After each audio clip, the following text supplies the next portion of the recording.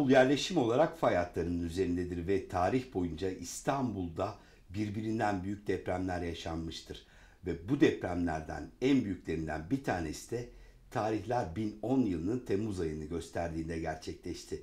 Öyle bir depremden bahsediyoruz ki Marmara'nın suları o zamanın Bizans'ın başkenti olan İstanbul'un yarısına kadar e, geldi ve binalar sular altında kalmıştı tsunami'nin etkisiyle.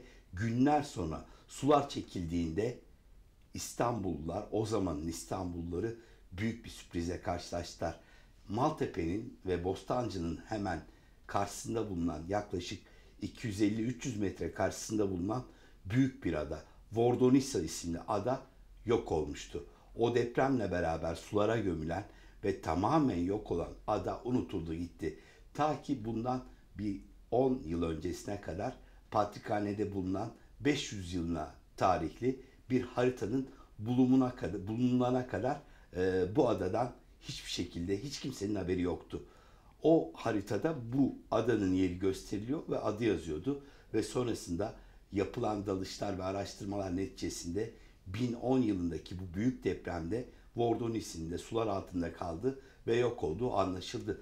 Vordonisi'den bugüne kadar çok kişi konuştu Vordonisi Adası ile ilgili özelliklerinden. Ama biz bugün Vordonisi ile ilgili çok çok özel e, bilgileri paylaşacağız. Burada hem Vordonisi'yi hem ada kavramını ayrıca Kanal İstanbul'u konuşacağız. Konuğumuz da tarihçi araştırmacı yazar Yonca Alpan. Hoş geldiniz Sayın Hocam. Hoş bulduk. Teşekkür ederim davet ettiğiniz için. Ee, biz kabul ettiğiniz için teşekkür ederiz. Hocam Prens Adaları aslında 9 değil 10 tane ve bunlardan bir tanesi de Vordonisi. Ve Vordonisi 1010 yılındaki depremle beraber tamamen yok oluyor. Şu an suların altında e, dalanlar oldu. Ben de daldım oraya. Evet. E, binaları görebiliyoruz. E, enteresan bir ada. Birbirine rakip manastırlar var. E, sürgüne gönderilen buraya din adamları var. Patrikler ve, var. E, patrikler var. Ve bazı kaynaklardaki iddialara göre de Vordonisi batmadan önce Avrupa'da çok popüler bir ada. Bunun nedeni de sürgünlere ve e, din adamlarına ev sahipliği yapılıyor. Aynı zamanda ezoterizmin ve büyücülük ilmi e, Katolik Avrupa'da şeytani e, bir konu olarak görüldüğü için cezası idam. Evet. Bir cadı avı var. Doğru. Ve buradan kaçanlar da nereye gidiyor? Ee, İstanbul'a geliyorlar. Anadolu coğrafyasına geliyorlar ee, ve Vordonisi adası bu merkezlerden bir tanesi. Ee, şunu belirtmek isterim ki e, kaçan cadılar ya da kaçan büyücüler dediğiniz kişiler bunlar ilimden bilimden nasibini almış kişiler. Şifacılığı bilen insanlar, matematik, geometri ve e, sosyoloji alanında e, bir şekilde kendini yetiştirmiş kişiler. Ve baktığımızda, incelediğimizde bu kişilerin hepsinin backgroundlarında muhakkak dini bir terbiye var. Evet. Buna pagan inancı diyebilirsiniz. Hristiyan terminolojisinden gelen değişik inanç e, kütlerinin yetiştirdiği kişiler, bilgiler e, doğrultusunda yetişen kişiler diyebilirsiniz. Ama bir beyin göçü oluyor ve bir inanç göçü oluyor buraya. Kıta Avrupa'sından e, Katolik Kilisesi'nin baskısıyla e, cadılar ve büyücüler akın akın o zaman Vordonisi'ye geliyor. Doğru, doğru. E, İstanbul'a geliyor. E, değişik manastırların içerisine yerleşiyorlar. Kendilerine değişik kimlikler edinerek Hristiyan, Ortodoks Hristiyan camiasının içerisinde kendilerine bir şahsiyet alanı oluşturuyorlar. Vordonisi adası bu anlamda önemli. Şimdi e, Oraya geçmeden buyurun. hemen bir şey daha sorayım. E, bu insanlar gelirken beraberlerinde e, Avrupa'nın çeşitli bölgelerinden antik büyü ilmini barındıran e, objeler de getirdiği söyleniyor bu insanların. E, yazmalar, sihirli, sihirli olduğuna inanılan eşyalar. E, Siz sihirli diyebilirsiniz. E, kimisi bunun için kutsallık atfedilen obje diyor. Kimisi de bunlara gizemli sihir, bir maji gücü, bir büyü, e, tılsım aracı e, özelliğini taşıyan objeler diyorlar. Siz bu objelerle ne yapacağınızı bilmezseniz objenin bir önemi yoktur. Evet. Ama Ortodoks camiada ya da değişik inançlarda objelerin bir kısmı kişiye bağlı olmadan önemlidir yanlarında bu kişilerin getirdiği sihirli objelerden ziyade kehanet kitapları, kozmoloji kitapları. Biz kitap diyoruz da bunlar daha ziyade yazmalar, deri üzerine yazmalar, kemik üzerine yazmalar, taş üzerine yazmalardır. Çünkü ezoterizmde bilinir ki hiçbir şey öyle bildiğiniz sıradan kağıda yazılmaz, çizilmez. Ee, ezoterik öğretilerde e, özel mürekkep, mürekkep türevi e, karışımlar kullanılır ve bunlar tuzsuz kağıda olabilir, değişik e, işte süreçlerden geçmiş kağıtlara yazılıyor olabilir ama bin yıllık öğretilerden ve bu tarz maji, büyü, sihir gibi mevzulardan bahsediyorsak kemik üzerine olmalı, deri üstüne olmalı, taş üzerine olmalı ve muhafazası çok zor. Katoliklerin büyük bir kısmı bunları aforoz ettikleri gibi, yaktıkları gibi bu objelerin de büyük bir kısmını yok ettiler. Kaçırabildikleri e, iddiadır ki İstanbul'a ve Anadolu topraklarına gelir. Bunların e, en önemlilerinden de Sibyl e, taş tabletleri ya da Sibyl e, öğretileri, kehanet tabletleri olarak biliniyor.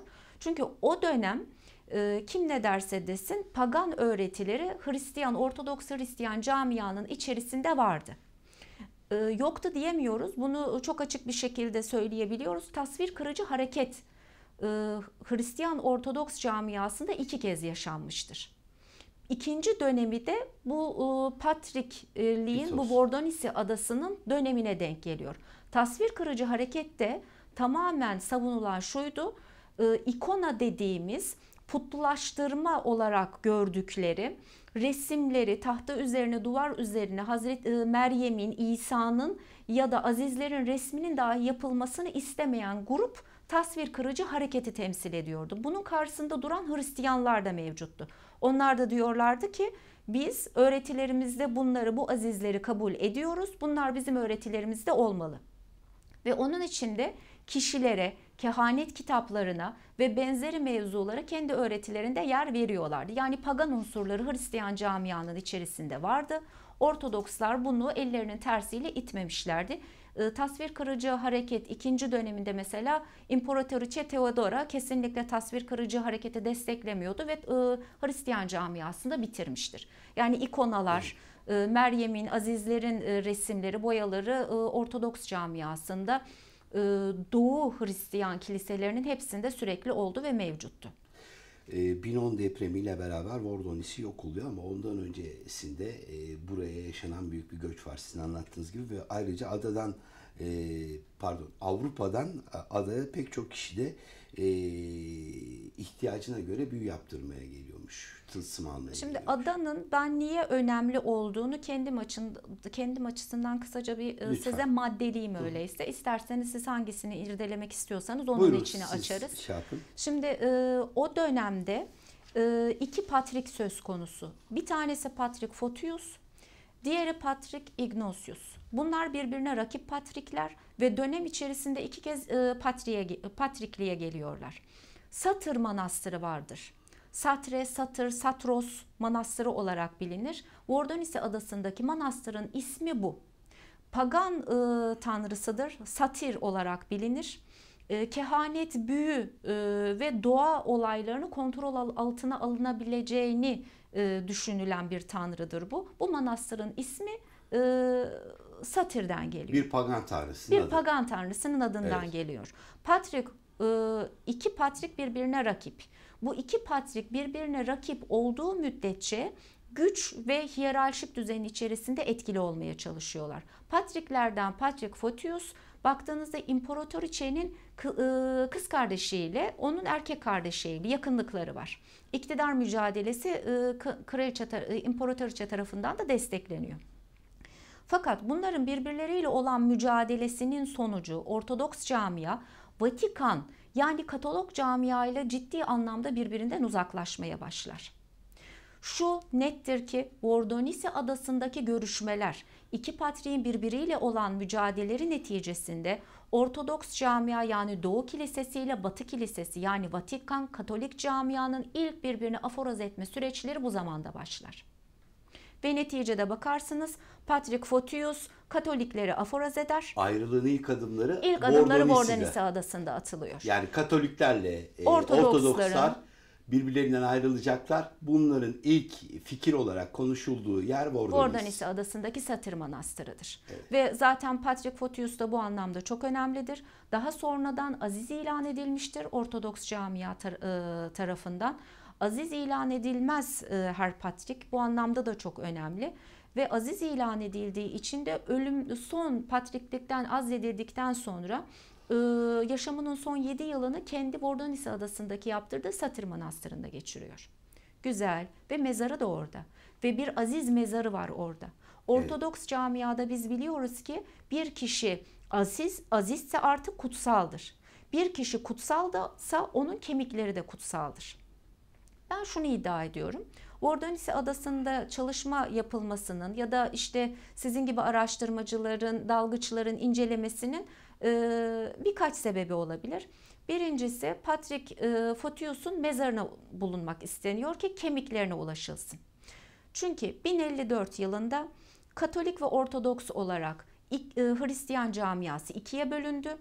Benim kanaatime göre iki camia Hristiyanlıkta Katolik ve Ortodokslar muhtemelen 2054 yılında tekrar barışacaklar. 2054 yılında tekrar barışacaklarsa önceden barışma ritüelleri, barışma yakınlaşmaları, barışma diyaloglarının oluşması gerekiyor ki günümüzde de görüyoruz. İlk barışma süreci 1965 yılında başladı ve hala da devam ediyor günümüzde. Evet. Fener Rum Patriği ile e, Papa'nın bir araya gelmesi, din adamlarının görüşmesi benim kanaatim 2054 yılında barışma ve birleşme süreci olacak. Yani e, Hristiyan toplumu artık e, Ortodoks ve Katolik olarak değil tamamen tek çatı tek, altında. Tek. Eski Hangi kilise sistemi. Onu kendileri anlaşmaları Hı. içerisinde belirlerler. Fakat önemli olan bazı ritüellerin yerine getirilmesi. Patrick Photius ayrılmadaki önemli azizlerden. Onun kemiklerinin bulunup tekrar birleşecek e, birbirlerini aforoz eden patriklerin barıştırılması gerekiyor süreçte. Kemikler bu anlamda önemli. Yani siz olmayabilirsiniz ama kemiğiniz sizi temsil eder. Ortodokslukta e, kemik kültü önemlidir.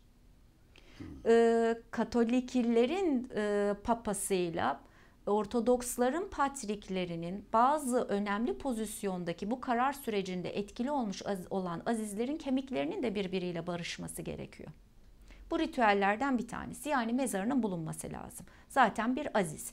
İkincisi dediğiniz gibi e, Avrupa topraklarından e, kaçarak öğretileri ve bilgileriyle İstanbul'a gelen kahinler, maji ya da büyü yetisine sahip olan kişiler bilgilerini de getirdiler.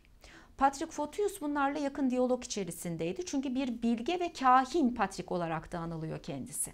Evet. Ve bu bilgileri büyük ihtimalle hayatının son 7 yılını geçirdiği Vordonisi adasındaki Satır Manastırı'na gömdürmüş olması lazım. Çünkü içerisinde kendi özel kütüphanesi de vardı. Zaten derhizler olduğundan da bahsedilir bir benzeri aynı Vordonisi adasındaki Satır Manastırı'nın benzeri e, baktığınızda hemen karşısında Küçük Yalı işte Bosta Küçük Yalı'daki arkeoloji bölgesi hı hı. vardır. Orada da bir Satır Manastırı var. O Satır Manastırı ile benzerlik gösterir ama Zeyrek'teki manastırla e, içtiyadi olarak daha çok benzerlik gösterir. Hani bunların izini, takibini sürüyoruz. Nereden öğreniyoruz? Sizin söylediğiniz şu milattan sonra 500. E, yılda Fener Rum Patrikhanesi'nde bulunan bir harita dediniz. O Portolon haritadır. Portolon haritaların e, çok ayrıntılı olmamakla birlikte e, yer tespiti konusunda son derece güvenilirler. Daha sonra bu gibi değişik yerlerin biz içtihadi kavramlarının ne olduğunu nereden anlıyoruz? Manastır yapılarının takibi, e, azizlerin hayatları, patriklerin ya da kilise adamların icraatlarını takip ederek öğreniyoruz. Ve evet. sonuçta görüyoruz ki e, Patrick Photius son derece önemli bir kişi ve daha sonradan inanış ve bir algı olarak e, şöyle bir algı oluşmuştur. Patrick Photius bu maji, büyü ve kehanet işleriyle o kadar uğraşıyordu ki ve Tanrı Satır adına bu manastırı yaptırmıştı ki evet. e, bir deprem ve zelzele ile birlikte zaten onun manastırı çöktü, battı. o zamana kadar büyünün ve majinin merkezi Vordonisi. Merkezlerinden Peki bir bu ada tanesiydi. yıkılınca e, bu merkez nereye taşındı sonrasında? Nereye gitti? Ya da gitti mi böyle bir merkez oluştu mu sonrasında? Ee, Biz buna odak kayması diyoruz. Merkez kayması diyoruz. Bir, kişiler önemlidir. İki, kişilerin kullandığı objeler önemlidir. Ve kullandıkları yöntem önemlidir. Mesela kim ne derse desin Hristiyanlığın içerisinde etkili olan bir Bakus grubu var. Sonra Mitra grubu var. Bunların hepsi e, Kibele öğretileri var. Sibyl kehanetleri var. Bunların hepsi bu tarz değişik felsefi akımların uygulayıcısı ve yaptırımcısı. Ee, Bunlar daha sonra kendilerini Avrupa Anadolu ana karasından ayrılıp e, İngiltere'de e, yol buldular ve İngiltere'den Amerika'ya gittiler. Amerika şu an baktığınız vakit maji, büyü, sihir, kehanet ve benzeri konulardaki dünyadaki önemli merkezlerden. Ama benim kanaatim eğer ola ki e, 2054 yılında e, kiliseler birleşirse ve sonuçta burası bir İslam camiası, İslam felsefesi, İslam tasavvufu var. Bunu büyü olarak adlandırmak istemiyorum ama bir manevi algının, e, İslami manevi algının can bulduğu topraklar. İstanbul bu açıdan çok çok önemli. Pagan geçmişi var, Hristiyan geçmişi var. İslam kültürü ve İslam tasavvufu hala can bulmakta. Bunların hepsinin kesişeceği yani bir e, gizemsel, ruhani merkezin olacağı yer İstanbul Yine olacak. İstanbul. Neresi olacak? Neresi olacak? Kanal İstanbul'la birlikte oluşturulacak olan Ada İstanbul olacak. Öyle mi?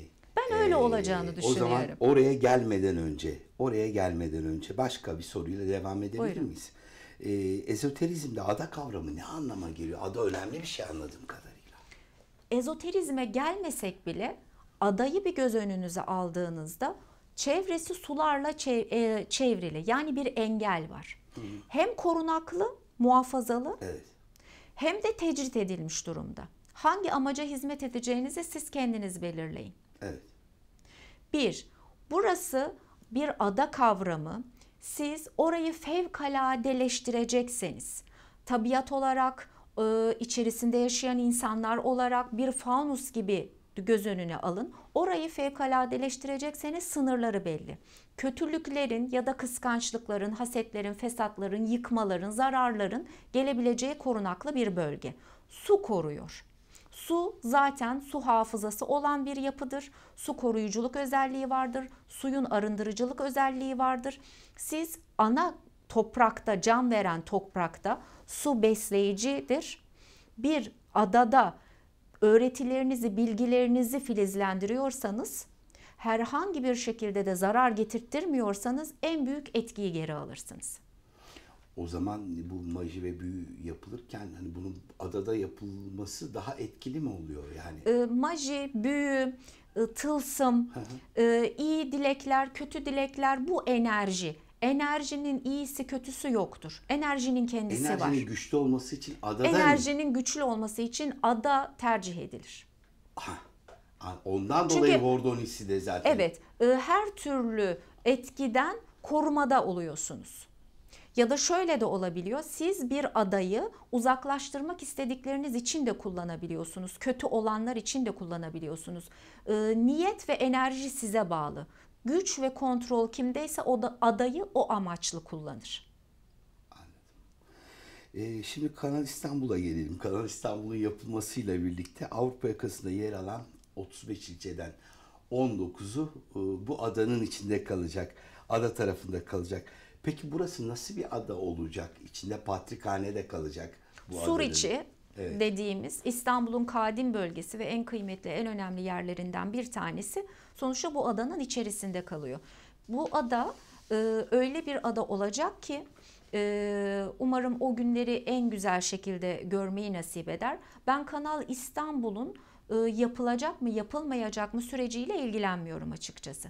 Ama şunu biliyorum ki bir e, tarih, e, ezoterik tarihi inceleyen ve gizli ilimleri ve bu mevzuları olabildiğince inceleyen birisi olarak bu kanal zaten önceden yapılmak için plana sokulmuştu. Osmanlı döneminde de vardı. Evet. Ama tarihi süreçlerde zamanlamalara bakıyorsunuz. Tarih tekerrürden ibaretti. O zaman kısmet olmadı. Bu süreçte tekrar dillendirildi. E yakın tarihimizde e, rahmetli Ecevit döneminde de gündeme gelmişti olmadı. Ondan sonra benim bildiğim 1980'lerde tekrar gündeme gelmişti. Başka camialarda olmadı. Şimdi bu iktidar döneminde bir kanal yapılarak Boğaz alternatifi siz siyasi olarak e, işte askeri olarak değerlendirebilirsiniz ama biz ada kısmı ile ilgileniyoruz. Evet. Ada kısmı ne olacak? Bir, dini yapıların merkezi olacak. Dini inançların merkezi olacak. İki, para kontrolünün merkezi olacak. Üç, stratejik olarak o kadar önemli ki ben bu kanaldan sonra Gelibolu, Çanakkale ve Marmara'nın da da bir kanalın açılacağının zaten konuşuluyor olacağını düşünüyorum. Daha sonra Hazar'dan da tekrar Karadeniz'e bağlanılacağını düşünüyorum. Siyasi ve strateji olarak da bu ada e, çok önemli bir pozisyonda olacak. Önemli olan engellemek ya da yaptırmak hı hı. değil olacak olanı kontrol ediyor olmak ve gelişen ola, e, gücü bir şekilde siz de içinde kontrollü bir şekilde ve e, Kendi kuvvetli e, kullanabilmek. Evet. Bu anlamda umarım gelecekte Türkiye doğru hamlelerle en düzgün hareketleri gerçekleştirir. Patrikhaneyi nasıl etkiler bu Kanal İstanbul projesi? Fener Rum Patrikhanesi şu an baktığınız vakit Hristiyan camiada son derece kuvvetlenmiş vaziyette. Vatikan'ın içerisinde sansasyonel olaylar yaşanıyor. Vatikan'ın içerisinde eskisi gibi e, nüfus artmıyor. Vatikan e, ve Katolik inancı eskisi kadar dünyada e, yaygın bir vaziyette değil. Protestanlık zaten dar bir e, alanda sınırlı kalmış durumda. E ama bakıyoruz Orta Asya Türk Cumhuriyetleri, Slav ırklar, Rusya, Doğu e, Kilisesi dediğimiz bölge sürekli nüfusu artıyor, gücü artıyor. Ticari olarak da son derece kuvvetleniyor. Şimdi Fener Rum Patrikhanesi e, bu anlamda e, dizginleri gelecek günlerde eline alabilir. Bu Kanal İstanbul projesi de elini güçlendirir mi? E, güçlendirir çünkü e, Rusya önemli bir e, Ortodoks e, yapıdır e, tamam siz kanalları açıyorsunuz da sonuçta Rusların da Akdeniz'e inmesini sağlıyorsunuz. Akdeniz'e çıkış noktasında Rusların açıyorsunuz. Evet. Yani e, bizdeki korkular var. Kanalların içerisinden e, efendim savaş gemileri geçecek, şu olacak, bu olacak. E baktığınız vakit kuzey e, toprakları da güneyle buluşma e, rahatlığını sağlayacak. Benim son bir sorum olacak. Buyurun. Vordonisi aslında büyü yıktı, deprem değil büyü yıktı diyebilir miyiz? Ee, birincisi bu tarz soyut kavramları muhakkak somut bir yansıması vardır. Evet. Ee, Prens adaları, Cin adaları, efendim Marmara adaları, Keşiş e, adaları Adalı. olarak bildiğimiz bizim 10 adamız ki 9'unu şu an görüyoruz. Bunların hepsi granit sağlam yapı e, kayalaşma üzerinde. Fakat Vordonisi adası alivyon toprak üzerinde. Fakat alivyon toprağın da özelliği manevi açıdan ektiğiniz daha çabuk büyür. E, alivyon toprağında ezoterik e, olarak kayadan farklı bir durumu vardır. Boşu boşuna Vordanisi adasını seçmediler. Vordanisi adasının bir depremde yıkılabileceğini e, e, bil, e, pagan kültüründe e, bilmemelerinin ihtimali yok. Mabetlere ya da tapınaklara bakıyorsunuz e, baktığınızda bütün iz düşümleri, enlem boylam yapılarının e, ley hatlarını hepsini biliyor bu insanlar. Yıkılacağını Alevyon, da biliyorlar. Yıkılacağını da biliyorlardı ama yine de o dönem için o Satır Manastırı orada gerekliydi. Evet. Çok teşekkür ederim. Ben teşekkür ederim. Ee, katıldığınız için, e, Ezber Bozan TV'de bizimle beraber olduğunuz için. E, Vordonisi'yi konuşmaya çalıştık. Kanal İstanbul'u konuştuk. Ada kavramını konuştuk ezoterizmle ilgili.